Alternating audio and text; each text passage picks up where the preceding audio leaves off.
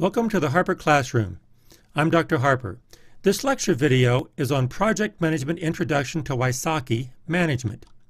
This video is based on the book Effective Project Management by Wysocki, and I've divided the book into three sections. This video will focus on the second section, Management, chapters 13 through 16.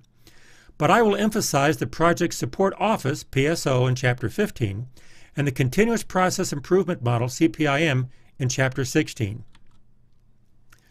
The Project Support Office supports the project and programs, and these together will support the Continuous Process Improvement Model. So although the support is initially illustrated here as one way, the function within each one of these is coordinated throughout the entire project life cycle. So let's start with a Project Support Office, PSO. I will develop the material in the Project Support Office in Chapter 15 in three different sections. First, the definition. What is it? A Project Support Office provides services to support the project management of project portfolios. But first, the PSO is a business unit. It is part of the organizational structure, but can reside in a variety of locations and take on a number of different forms, from real to virtual, permanent to temporary. And the types of support services can also vary, from reactive to proactive, or administrative to functional. Why do we need it? We can consider two perspectives to the justification of a PSO. One, when the causes of project failure could have been addressed by a PSO to prevent failure or at least lower the likelihood of failure, that would represent a sound justification for the need of a PSO. But when the symptoms related to project failure are identified in a project, that becomes a strong argument for a PSO. How do we use it? Wysocki argues the most effective approach in implementing a PSO is through the processes related to maturity models.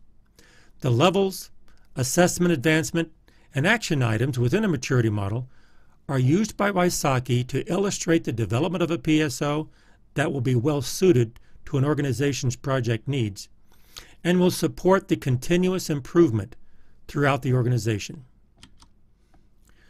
I will present the material related to the CPIM, the Continuous Process Improvement Model, in three different sections.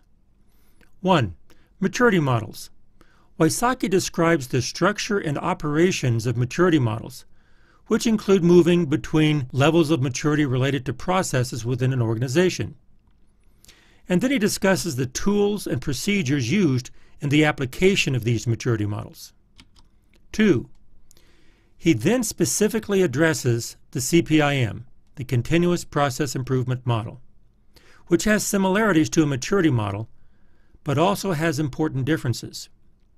He defines phases of the CPIM as different from the levels of a maturity model in that the phases represent repeatable objectives in a feedback system instead of levels to be achieved in a maturity model. And with each feedback iteration, the processes within an organization are continually improved. Wysocki then discusses process improvement tools that can be used within each of these defined phases.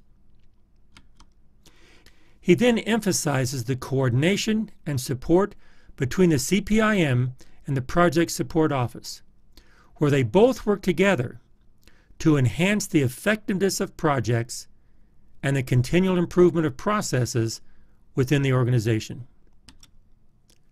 So within the management of an organization, the Project Support Office and the Continuous Process Improvement Model are presented by Wysocki, if used correctly, to greatly enhance the effectiveness of an organization. This video has just been a rough overview of the material. More detail will be covered in class. This ends the lecture video on Project Management Introduction to Wysocki Management. I hope this helps. Thanks for watching.